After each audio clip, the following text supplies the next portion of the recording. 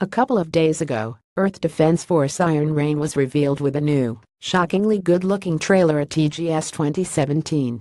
Now, more footage of the game has come out, including a nearly 10-minute long gameplay video that puts players into the boots of a trooper. In the footage, we're treated to 8 minutes of a trooper making his way around the city, while also fighting various bug-like creatures.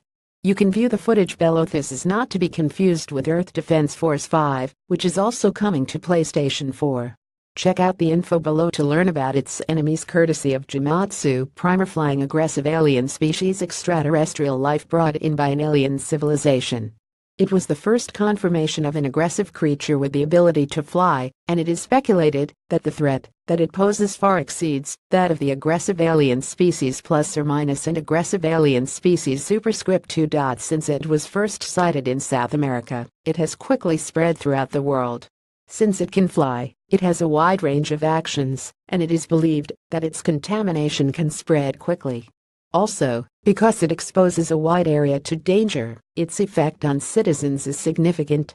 It should be considered a maximum priority extermination target. Its combat abilities are exceedingly high, and it can shoot needles while floating at rest in the air. Its power has been confirmed as strong enough to pierce an AFE vehicle.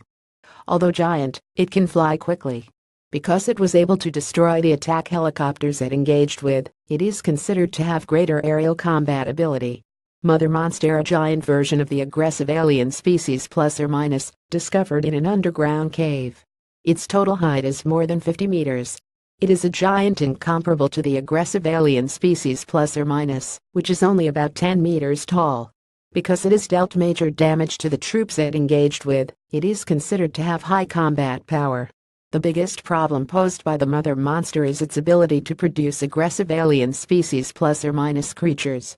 A large number of aggressive alien species plus or minus eggs have been confirmed in the underground cave. It is believed that they were all created by the mother monster.